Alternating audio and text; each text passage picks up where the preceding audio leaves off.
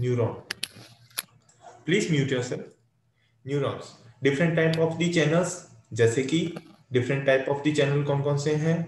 देखो please mute yourself different type of channels. Different type of the channels. जैसे कि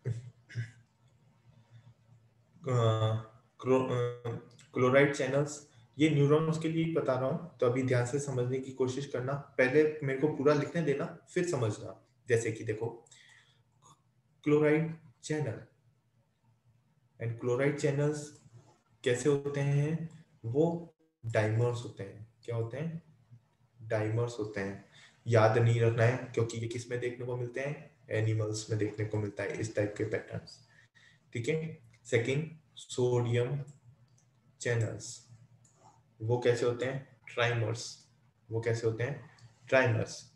Then potassium channels and ये कैसे होते हैं? टेट्रामर्स। कैसे होते हैं? टेट्रामर्स। जस्ट ऐसे। चार होते हैं। ठीक है ना? टेट्रामर्स। ठीक है ना? और फिर last one is the aquaporin aquaporin and aquaporin कैसे होते हैं? ये भी टेट्रामर्स होते हैं बट डिफरेंस कहाँ पे आता है? एक्वापोरीन में इंडिविजुअल पे, जैसे कि ये टेट्रामर्स बन गए बट इंडिविजुअल में भी उस तरीके के पोर्शन देखने को मिलते हैं। ये, इसको बोलते हैं हम एक्वापोरिन ठीक है? इसको हम बोलते हैं एक्वापोरीन ओके बट जो कि क्लोराइड चैनल जो अपने ह्यूमंस में देखने को मिलते हैं तो वो ह्यूमंस वाले कैसे होते हैं? ह्यूमन के क्लोराइड चैनल कैसे होते हैं? पेंटामर्स पेंटामर्स कैसे होते हैं? पेंटामर्स ठीक है? और इसी तरीके से पेंटामर्स के और कौन कौन से पेंटामर्स हो सकते हैं पेंटामर्स किसमें देखने को मिलेंगे acetylcholine and ligand gated gated channels. एट्राइकोलिन लाइगेट लाइगेंट गेटेड चैनल्स में पेंटामर्स देखने को मिलते हैं, ठीक है?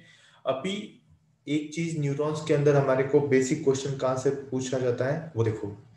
देखिए आरपीएम पता होनी चाहिए हर एक की। RPM of the different type of the cells different type of the cells देखो, ध्यान से फटाफट लिखते जाना। मोस्ट न्यूरॉन्स मोस्ट न्यूरॉन्स की कितनी रहती है? Minus seventy millivolt okay most of the neurons की. ठीक है? अब स्पाइनल स्पेसिफिक चल रहे हैं। Spinal motor neurons spinal motor neurons की कितनी होती है? Minus ninety millivolt skeletal muscles fibre की कितनी होती है? Minus ninety okay? Ventricular muscle fibre की कितनी होती है? Minus ninety smooth muscle fibre की कितनी होती है? स्मूथ मसल्स की कम होती है, वो होती है minus fifty to, minus sixty millivolt. Okay? Pacemaker cells की पेस मेकर सेल्स की कितनी होती है?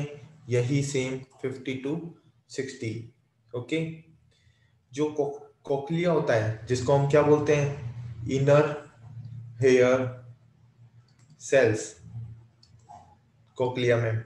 तो वहाँ पे कितनी होंगी? माइनस सिक्सटी ठीक है? आइस के अंदर रॉड्स एंड कॉन्स की कितनी मिलेगी हमारे को? Minus forty.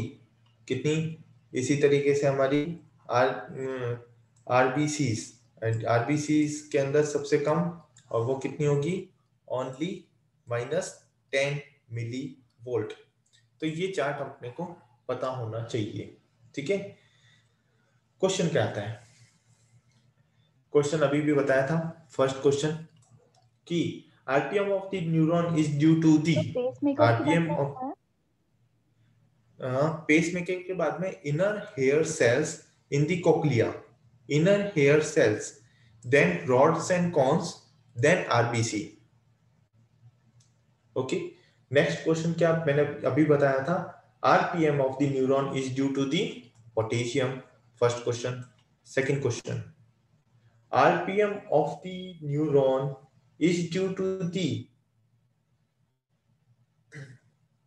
potassium तो कुछ भी हो, हमारे को आंसर न्यूरॉन के लिए पूछे, ठीक है? या किसी के लिए भी पूछे, हमारे को आंसर पता होना चाहिए कि वो क्या है? पोटेशियम ठीक है? अब हम बात करेंगे इसके local potential and action potential ठीक है? 3 minutes left. Only 3 minutes left? Okay okay okay ठीक है।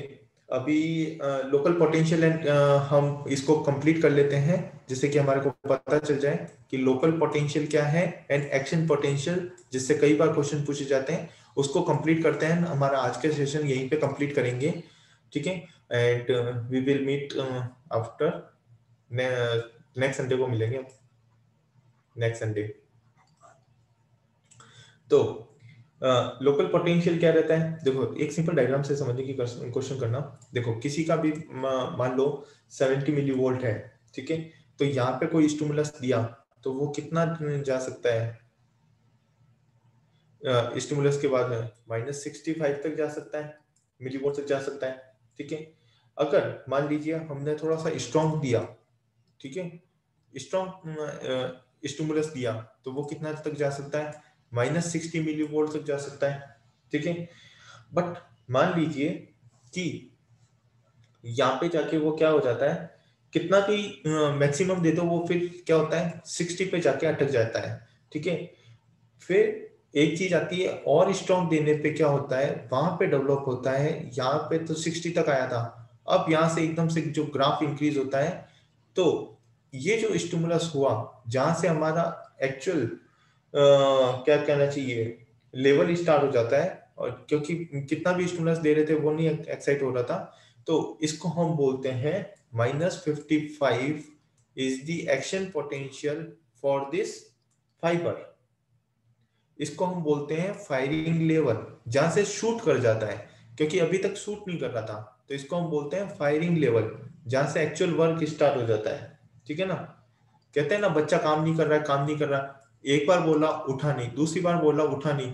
तीसरी बार में आपने क्या किया? उसके ऊपर पानी मार दिया या ना उसको लात मार दी? तो बच्चा एकदम से उठ के खड़ा हो जाता है।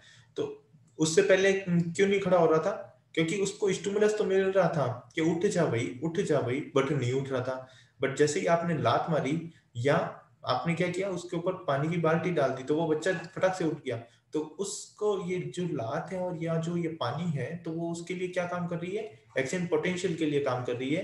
तो इसी पॉइंट को हम क्या बोलते हैं? एक्शन पोटेंशियल बोलते हैं। और इसी को हम किस नाम से जानते हैं? थ्रेश वैल्यू थ्रेश वैल्यू और इसी के साथ में हम आज की क्लास को कंप्लीट करते हैं। Thank you so much